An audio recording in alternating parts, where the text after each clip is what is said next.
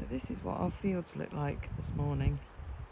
Down there is the bottom of what we call the barn field, which is their summer turnout. And then you can see all the girls and Hidda in the 14 acre field there, which has puddles of water in it.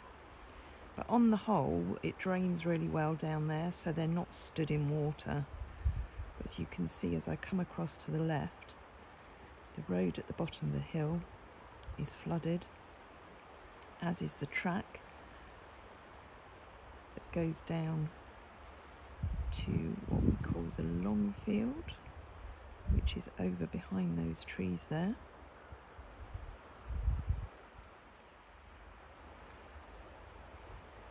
And then alongside the road, that's the orchard.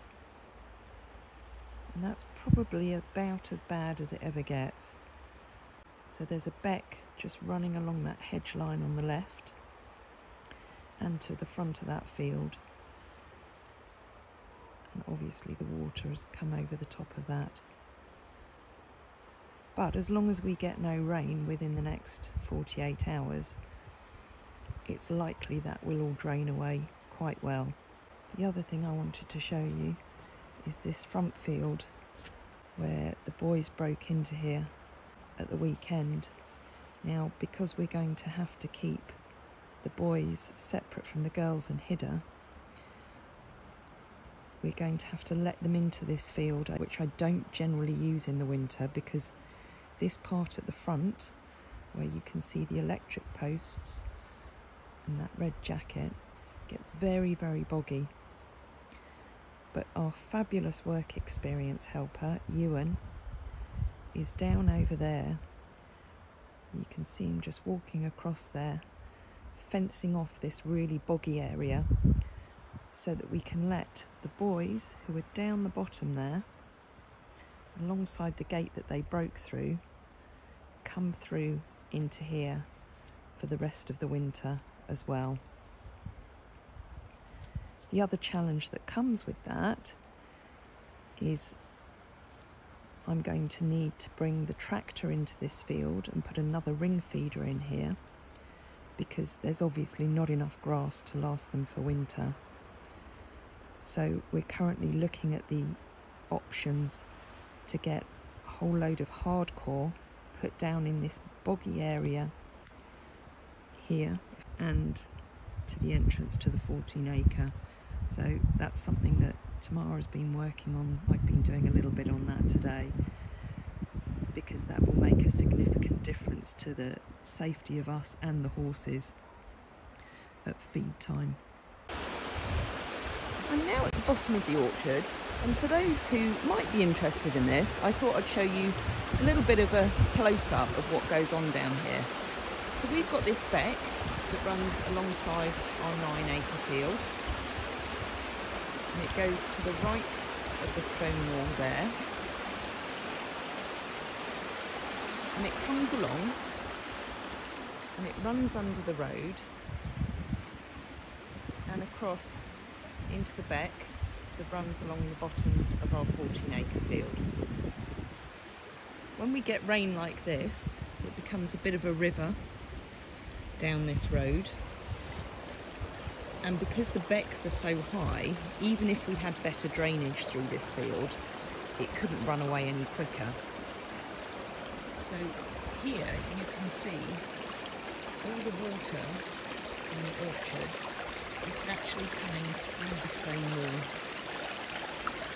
And the problem with that is it begins to bow the stone wall and the pressure of it will eventually make this wall fall down. I'm hoping that's not going to be the case today.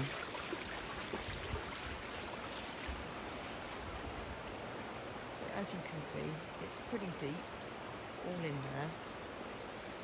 And the beck continues to run along that little fence line there, and then up to the left, where those willow trees are and across the top of the orchard. But because that is so full, you walk up here now, walk up the road now, you'll see that the other way the water escapes from the orchard is through the gateway where we take the horses in and out. So I'll just show you round to the left here. This is the entrance to our 14 acre field and you can see the water's puddled. It's not quite so bad here and that ring feeder is where we will start putting the haylage out once the grass is no good. So this is part of the area that we need to get stoned up because the more they start to come down here to feed round the ring feeder, it will get boggier and boggier. So moving over to the entr entrance of the orchard, you can see it's flowing through like a stream here, at quite a pace. This is when I discovered that my boots aren't particularly waterproof. So it's coming through here and across onto our track that goes down to the long field that I showed you earlier. And that part of water over on the right is the beck, runs up here across the road into the other side of the orchard. So this is one of the reasons why we don't use the barn field during the winter months because the barn field here that we use in summer I'll make sure that I don't fall in the beck and we stand on the gate this is the entrance and all the bottom part there it is actually drained. Philip, our neighbour, put all the drains in a couple of years ago. But again, if there's nowhere for the water to go, it's going to sit in the bottom of the field. Now that, that track on the right is actually the beck. And in this corner here, show you a video at some point of when that's dry. This whole banking along this part of the beck is beginning to fall away and crumble away, which is why it makes it very dangerous now to drive the tractor down this track and into the long field to do any work down there. But as I said in the earlier video, give it 48 hours and because we're on rock rather than clay soil, this is quite likely to all drain away quite quickly once the rain stops coming. So that's really, I know it's not horse related, but I thought for those of you that were interested in some of our land and some of the challenges we have, you might find it quite interesting. It will give you a better understanding of some of the things that, that we're dealing with.